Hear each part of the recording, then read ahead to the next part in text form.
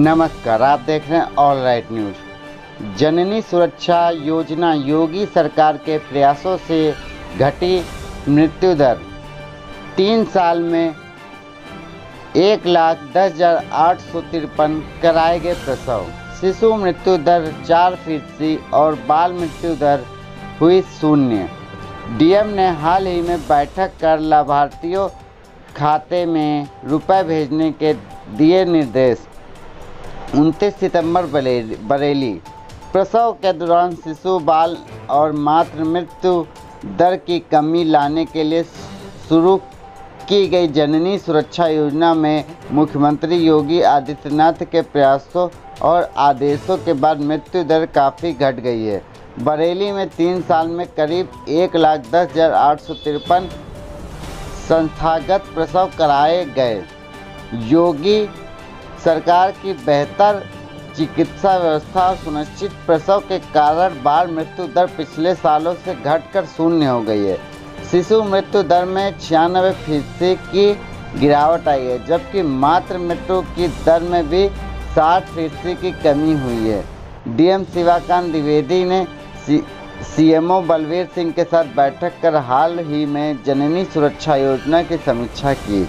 उन्होंने लाभार्थियों के खातों में शीघ्र धनराशि भेजने के निर्देश दिए। शहर और ग्रामीण क्षेत्रों में संस्थागत प्रसव कराए जाने को लेकर जागरूकता अभियान चलाने को कहा, जिससे कि बाल, शिशु और मातृ मृत्यु दर को और घटाया जा सके। जननी सुरक्षा योजना पिछले साल से ग्यारह हज़ार संस्थागत प्रसव बढ़े। सीएमओ बरेली बरवेल सिंह ने बताया 2021 मार्च में चौंतीस हज़ार एक सौ अड़तीस संस्थागत प्रसव कराए गए थे। सुरक्षित तरीके से जननी सुरक्षा योजना में कराए गए प्रसव के लाभार्थियों के खातों में पैसे भी भेजे। 2022 मार्च तक संस्थागत प्रसव की संख्या बढ़कर पैंतीस हज़ार छः सौ तीस हो गई है। हालाँकि 2020 में कोरोना संक्रमण की वजह से संस्थागत प्रसव अधिक हुए थे। 2020 में इकतालीस प्रसव सरकारी अस्पतालों में कराए गए थे।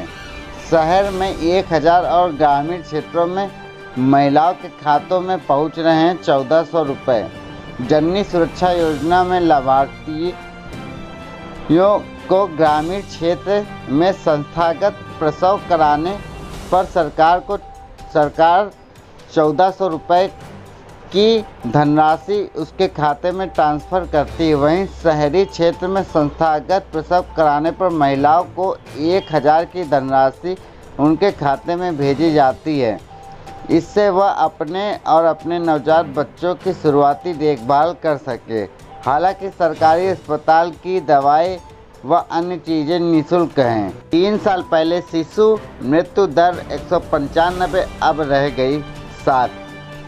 जननी सुरक्षा योजना से सुरक्षित प्रसव और चिकित्सा व्यवस्था बेहतर होने के कारण शिशु मृत्यु दर में काफ़ी कमी आई है। 2020-21 में शिशु शिशु मृत्यु दर एक सौ पंचानबे, दो हज़ार इक्कीस बाईस में घटकर सैंतालीस रह गई है।